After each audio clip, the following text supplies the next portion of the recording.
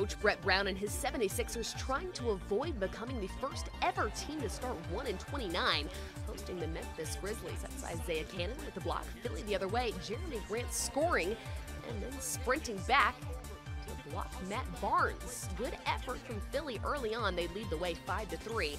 Then Nerlens Noel driving baseline, finishing with the left-handed jam.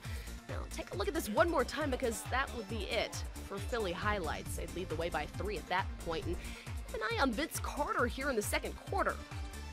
Well, Vinsanity can't quite finish this putback dump attempt, but then it's headed the other way, and on defense, Vince actually uses his backside to knock the ball away from TJ McConnell, and Mike Conley is able to take it the other way for the lay in. Memphis would lead the way 53 to 47 at the half.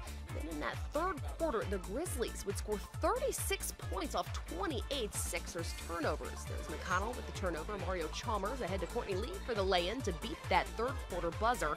Then Nerlens Noel with the pass here right to Zach Randolph.